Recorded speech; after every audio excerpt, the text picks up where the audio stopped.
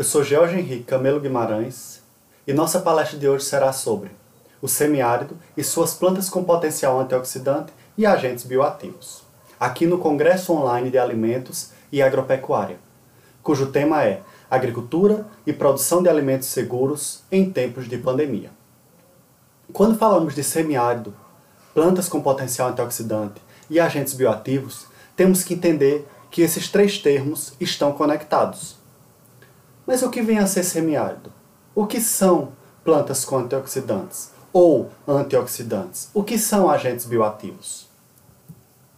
Quando falamos de semiárido, entendemos que semiáridos são aquelas regiões onde a precipitação não chega a atingir a necessidade do crescimento da cultura durante todo o ano. Ou seja, o índice de aridez é menor do que 0,5%. E como é calculado esse índice de aridez? Esse índice de aridez é calculado através da divisão simples entre precipitação e evaporação, evapotranspiração potencial. Pensando nisso, é, se essas plantas não possuem uma quantidade de água suficiente para completar seu ciclo, de que forma essas plantas completam seu ciclo? De que forma essas plantas crescem nessas regiões? através de mecanismos de adaptação. Sabemos que, com o aumento da aridez, existe uma quantidade cada vez menor de plantas adaptadas em regiões áridas e semiáridas.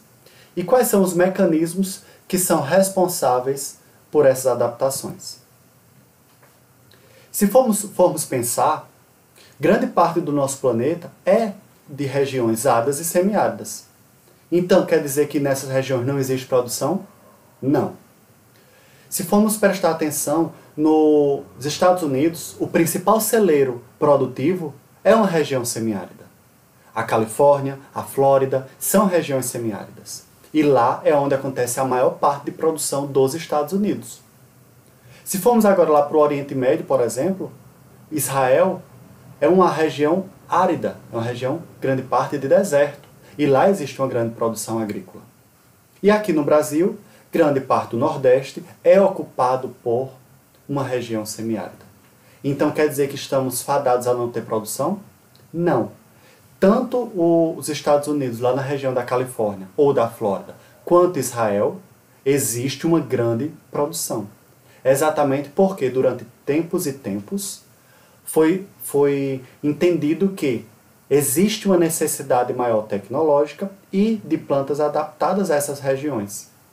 Então, quando se afilia técnicas e essas plantas que são adaptadas a regiões, pode-se ter uma produção satisfatória. Mas que mecanismos são esses que fazem com que essas plantas sejam adaptadas a essas regiões? Ciclo de vida curto, o tipo de sistema radicular, a forma de armazenamento de água, são exemplos de adaptações que essas plantas possuem. Quando falamos de ciclo de vida curto, a planta aproveita o curto espaço de tempo com umidade no solo para germinar e chegar ao final que seria reproduzir-se. Então ela completa todo o seu ciclo produtivo, desde a germinação até a reprodução em curtos, curto espaço de tempo.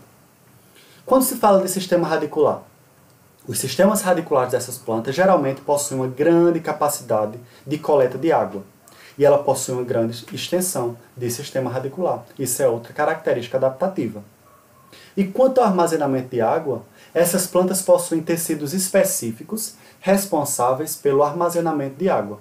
E esse armazenamento de água é disponibilizado durante o tempo de acordo com a necessidade da cultura. Outras formas, outros mecanismos adaptativos que essas plantas possuem são proteção contra a perda de água, o tipo de folha e o, o tipo de tecido que suporta a dessecação. Quando falamos de perda de água e a forma de proteger contra a perda de água, estamos falando de ceras e cutículas um pouco mais grossas que estão na, na epiderme das folhas. Essa cera, por exemplo, ela diminui a perda de água para o meio externo. A questão de folhas, tamanho de folhas, ou quantidade de folhas são muito pequenas e estreitas, faz com que diminua a área de contato entre a planta e o meio externo. E isso influencia na redução da perda de água. E quanto aos tecidos, os tecidos conseguem modificar-se metabolicamente de forma a continuar absorvendo água do solo. Isso se dá através da mudança de potencial osmótico. Muitas vezes essas plantas modificam seu metabolismo de forma a conseguir extrair o máximo de água possível do solo. Essas são algumas características adaptativas dessas plantas. Entretanto, todas essas plantas que estão em um ambiente de estresse, elas produzem constantemente radicais livres. E esses radicais livres são combatidos nos organismos pelos antioxidantes. Então, o que vem a ser esses antioxidantes? Os antioxidantes são esses compostos responsáveis pelo combate aos radicais livres. Esses radicais livres causam, causam dano aos tecidos, tanto vegetal quanto animal. E durante o tempo, é, esses tanto os radicais livres que causam esse dano quanto os antioxidantes são produzidos de forma a um combater o outro. Então, quando falamos de antioxidantes, os antioxidantes são as substâncias que têm a capacidade de proteger as células contra os efeitos dos radicais livres, que são constantemente produzidos no nosso organismo, tanto o nosso organismo quanto o organismo vegetal. Mas eles também podem favorecer o aumento da imunidade e a prevenção de doenças. Quando falamos de plantas, o que vem a ser um aumento de imunidade e a prevenção de doenças? Sabemos que constantemente as plantas podem, podem estar em constante ataque a de fungos, de bactérias, de alguns outros organismos maléficos para o crescimento dela. Então, uma planta que esteja bem nutrida, com uma boa imunidade, ela vai ser responsável por um melhor crescimento e até maior produção. Então, pensando nisso, esses antioxidantes, dentro de um metabolismo vegetal, eles são responsáveis pelo combate dos antioxidantes, dos radicais livres. Os antioxidantes são responsáveis pelo combate dos radicais livres, favorecendo o aumento de umidade, imunidade e prevenção de doenças. Então, esses antioxidantes combatem constantemente os radicais livres, que são é, relacionados com envelhecimento celular e dano nas células. Mas onde conseguimos esses antioxidantes? Quem são esses antioxidantes?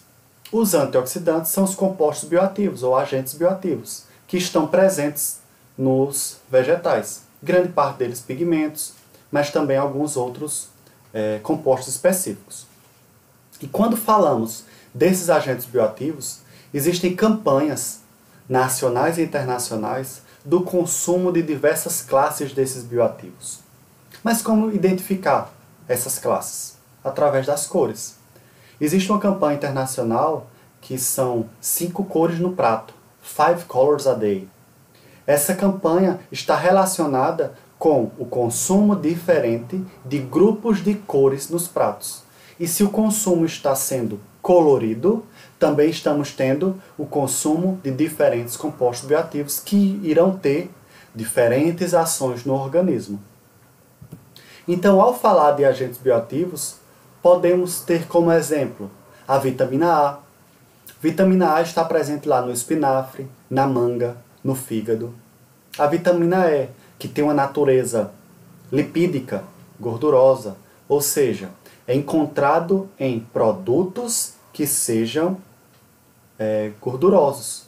Mas quando eu falo de gordura, eu estou falando de gordura boa para o consumo, como o azeite de oliva, o abacate. Esses dois, dois produtos vegetais são ricos em vitamina E.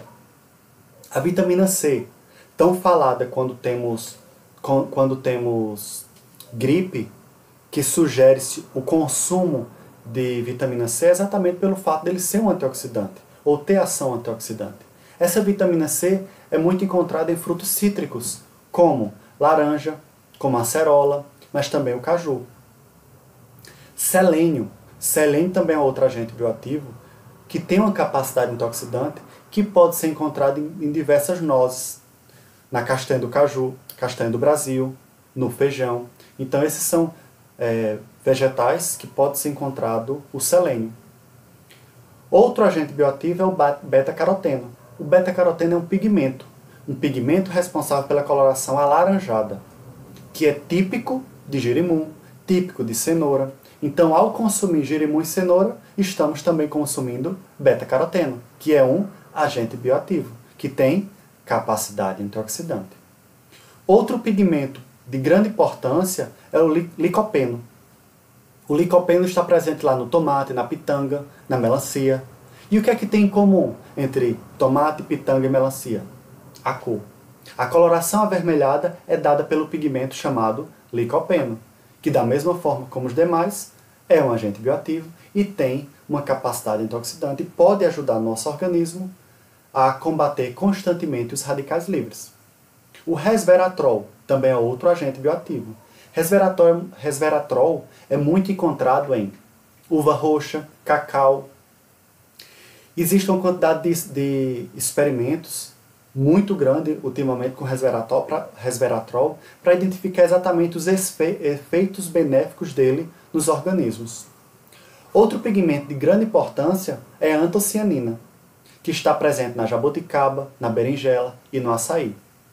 Então, da mesma forma que vimos anteriormente, é um pigmento responsável pela coloração arroxeada. Então, a jabuticaba, berinjela e açaí, açaí possuem essa coloração arroxeada, que é dada por esse pigmento, a antocianina. Então, esses são alguns exemplos de agentes bioativos que possuem uma atividade antioxidante, que pode ser encontrado em diversas plantas do semiárido. E quando falamos em plantas do semiárido, que plantas podem ser essas? A partir de agora eu vou trazer para vocês alguns exemplos de plantas do semiárido que possuem alguns agentes bioativos, que possuem atividade oxidante e grande parte delas que ainda estão em constante estudo para se identificar os compostos e o tipo de composto que, que ele tem, que a planta tem e que efeito esse composto pode gerar no organismo. Então, ao iniciar as plantas, as plantas daqui do semiárido, pensamos em angico. O que é o angico?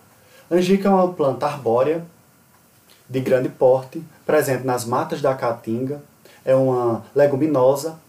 Essa planta, durante muito e muito tempo, foi utilizada pela indústria do couro para curtir o couro. E por que isso? Hoje em dia já sabemos que o angico ele tem um composto chamado tanino, que é típico em várias outras plantas, é aquele que dá um ressecamento na, na língua. Esses taninos também têm uma ação antifúngica, antimicrobiana. Então ele impede o crescimento de diversos micro-organismos. Por isso que é, foi por tanto tempo utilizado para curtir o couro. O angico ele tem uma coloração avermelhada e é rico em tanino. Então, esse também pode ser considerado um desses agentes bioativos. Outra planta que vem sendo muito estudada é o melão de São Caetano. O melão de São Caetano é simplesmente uma planta herbácea, trepadeira, que possui esses frutos que abrem com as sementes envoltas em uma mucilagem. Inclusive, essa mucilagem é docinha, é possível comer é, sem problemas. Por muito tempo também foi utilizada como vermicida em ruminantes. Então, é, as famosas garrafadas que, que se fazia, colocava-se esse tipo de planta, deixava-se um tempo para poder fazer a garrafada e dar para o animal, porque ele tem um efeito é, vermicida. Então, hoje em dia, existem estudos com o melão de São Caetano, tanto com a folha, com o fruto e até com a semente, para identificar o tipo de, de agente que ele tem, o tipo de composto que ele tem e qual a ação desses compostos. O umbuzeiro também é outra planta daqui do semiárido que possui alguns agentes bioativos. O umbuzeiro também é uma planta arbórea da família da Anacardiácea. Essa planta é muito conhecida, é tida como a árvore sagrada do sertão, é, é tida como uma árvore de resistência, símbolo de resistência, principalmente pelo fato de ter os xilopódios, que são exatamente aquelas estruturas de armazenamento de água nas raízes das plantas. Mas o que é muito consumido do umbuzeiro é o próprio umbu. O umbu é o fruto do umbuzeiro, ele possui uma característica ácida, e possui uma grande quantidade de vitamina C, que é um agente bioativo, que possui atividade antioxidante. Entretanto, deve fazer uma pequena ressalva quanto ao buzeiro, que nós consumimos um buzeiro, mas temos que aumentar a consciência de conservação dessa planta. Porque é pouco comum vermos plantas jovens, é pouco comum ver plantio organizado. Quando se fala de plantio organizado de um buzeiro, por exemplo, temos um plantio organizado na Bahia, mas é pouco comum esse tipo de, de situação. Então, por que eu faço essa ressalva? Para termos em mente que também temos que conservar, além de utilizá-los. Então, pensando no umbuzeiro, eu trouxe para vocês um trabalho que foi desenvolvido por uma aluna minha, Maria da Guia. Esse foi o trabalho de conclusão de curso dela em agroecologia no IFPB, cujo título do trabalho era Desenvolvimento e Caracterização Microbiológica, Físico-Química e Sensorial de Geleias de Umbu com fruto de palma de cerca. Então aqui nós temos dois pontos para levar, levar, para levar em consideração.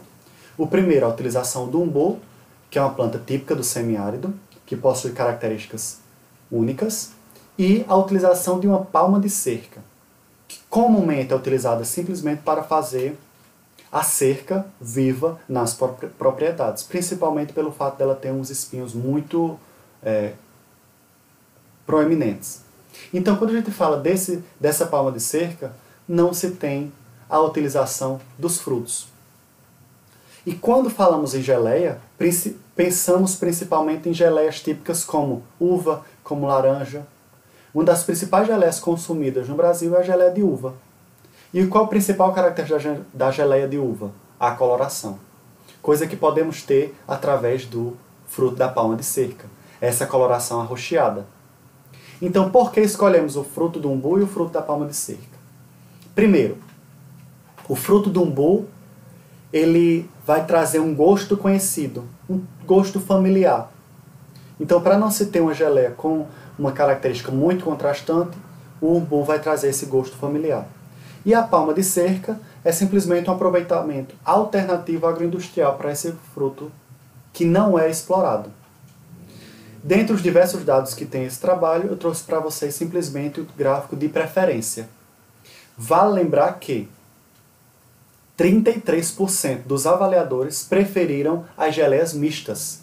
Esses 33% corresponde a uma geleia em que tinha 50% do fruto de palma e 50% do umbu.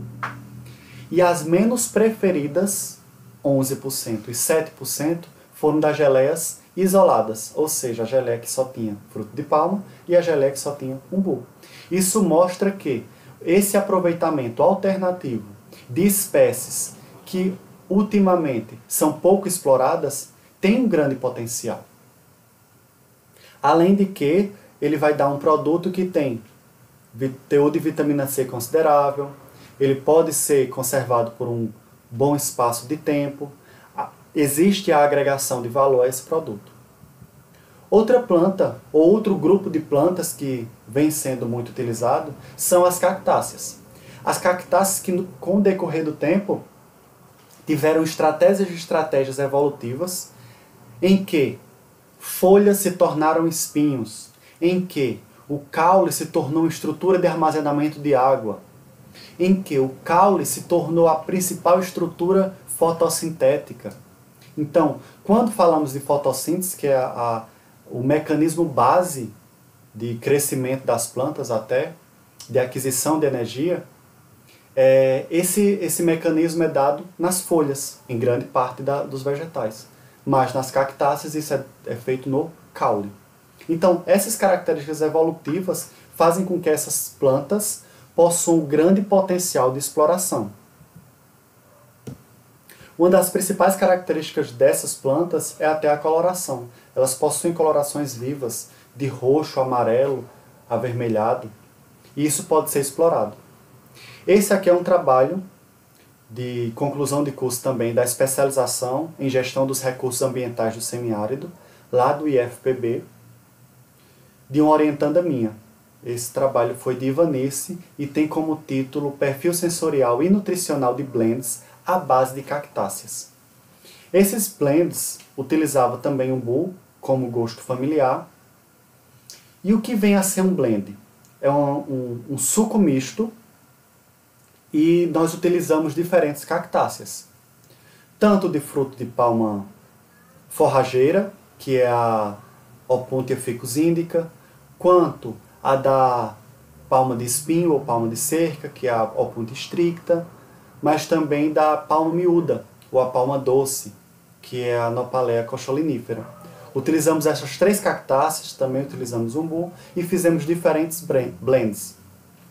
Além da, da característica sensorial que foi avaliada, avaliamos também as características nutricionais dela. Avaliamos teor de, de diversos pigmentos e atividade antioxidante desses, desses blends. E vários desses dados foi, foram muito pro, promissores nesse sentido, de favorecer ou disponibilizar uma bebida mista que tenha uma boa característica de atividade antioxidante e de agentes bioativos, além de ter um bom perfil sensorial, ou seja, boas características nutricionais que com, podem ser consumidas facilmente pelos consumidores. Outra planta é a aroeira. A aroeira é uma planta arbórea de pequeno porte. Essa planta é tida, é vista em diversos locais de supermercado como a pimenta rosa. O fruto dessa planta pode ser utilizado como, como pimenta. Ele é a pimenta rosa. Então, vários estudos vêm sendo feitos, tanto na folha quanto no próprio fruto dessas plantas, para avaliar o seu potencial antioxidante. E eu trouxe para vocês outro trabalho que foi de orientação minha, também na especialização em gestão dos recursos ambientais do semiárido, lá do IFPB. Esse trabalho foi da, da estudante Nayara e ele é intitulado Extração de Compostos Bioativos de Plantas Alimentícias Não Convencionais, as famosas PANCs, aqui na região semiárida. Então, o que é que podemos ver? Primeiramente, nós trabalhamos com três plantas específicas: a moringa, a aroeira e o melão de São Caetano. Fizemos a extração das folhas dessas plantas e avaliamos os compostos bioativos e a atividade antioxidante dessas plantas. Eu trouxe para vocês apenas um dos dados, que é da atividade antioxidante. Podemos ver que, de acordo com o tipo de extrato, da concentração do extrato, é possível ver uma alta atividade antioxidante dos, dos extratos de aroeira. Então isso mostra que esse tipo de planta pode ser um veículo para extração, extração de alguns compostos bioativos que possuem atividade antioxidante. Então, como é que é feito esse tipo de extração? Primeiramente, se avalia que parte da planta deve ser levada à análise, se é o fruto, se é a casca do fruto, se é a polpa do fruto, se é a folha, se é a casca da própria planta. E como é identificado é, a parte da planta? Primeiramente, através da, da maior atividade dos compostos. compostos. Outro fator, é, o tipo de composto que é encontrado, a quantidade desse composto que está presente tanto na folha, no fruto ou qualquer que seja a parte. Depois é feita a extração. Essa extração é feita através de um meio extrator, seja água seja algum solvente. E quando eu falo de solvente, eu estou falando de etanol, de acetona. E todos esses meios de extração, seja água ou seja algum solvente, vai estar relacionado com a natureza do composto que está sendo extraído, se ele tem a natureza polar ou apolar, o, o local da planta que ele está tá posicionado, está localizado, é maior sintetizado, e a eficiência na extração. Ele pode ser mais extraído com um solvente e menos extraído do que outro solvente. Depois disso são feitas as análises. E que tipo de análise estamos falando? Estamos falando de análises quantitativas, de, de avaliar qual a quantidade daqueles compostos no extrato, ou de identificação. Podemos fazer análise de identificação do perfil desses compostos. Então, avaliar quais são os tipos de compostos que estão presentes naquele extrato. Esse tipo de trabalho ele pode favorecer o maior entendimento dessas plantas do semiárido e favorecer também a indústria farmacêutica alimentícia que pode utilizar esses compostos, é, extrair esses compostos de plantas do, do semiárido. Mas, quando a gente fala de plantas, grande parte das plantas que nós conhecemos e que nós consumimos são as plantas tidas como tradicionais. E essas plantas tradicionais são lá a manga, a banana, a uva. E muito já se é estudado, explorado e conhecido dessas plantas. Mas temos uma rica diversidade de produtos que podem ser nossos, podem ser daqui do semiárido. Tá lá o umbu, umbu cajá, o próprio cajá, a jabuticaba, o araçá, que é da, próximo lá da goiaba, uma família da goiaba que é típico daqui da gente, a uvaia, as cactáceas, maracujá doce, o maracujá amarelo, o maracujá do mato. Então todas essas plantas ainda se tem pouco estudo com elas. Então quando falamos de perspectivas futuras, pensamos que podemos aumentar os estudos com esse tipo de planta, sabendo distribuição, sabendo os compostos que estão presentes nela, sabendo a atividade antioxidante, se é elevada, se não é, e podemos explorar ainda mais nelas e trabalhar para fortificar a cadeia produtiva dessas plantas e quem sabe colocá-las no mesmo patamar de plantas tidas como tradicionais. Plantas como manga, como banana, como uva, aumentando assim o consumo e o conhecimento sobre esse tipo de planta, essas plantas do semiárido, que grande parte delas possuem agentes bioativos com alta relevância que possuem uma boa atividade de oxidante. Então, falando nisso, temos que entender que nós das ciências agrárias, nós das ciências de alimentos e nossos cursos específicos, como os alimentos, como agropecuária, como agroecologia, temos que trabalhar conjuntamente de forma a é, realizar um trabalho de valorização do nosso material, valorização do semiárido, valorização das nossas plantas. E isso vai nos deixar cada vez mais fortes, porque o conhecimento nos deixa mais fortes nesse sentido. Então, quando eu falo de perspectivas futuras, do estudo futuro de plantas do semiárido, também falo das ciências agrárias como um só, estudando e trabalhando de forma conjunta, de forma a se fortalecer e fortalecer o semiárido e as plantas que estão que são componentes dele. Então, com isso, eu encerro aqui a minha palestra, que foi intitulada O Semiárido e suas plantas com potencial antioxidante e agentes bioativos. Muito obrigado.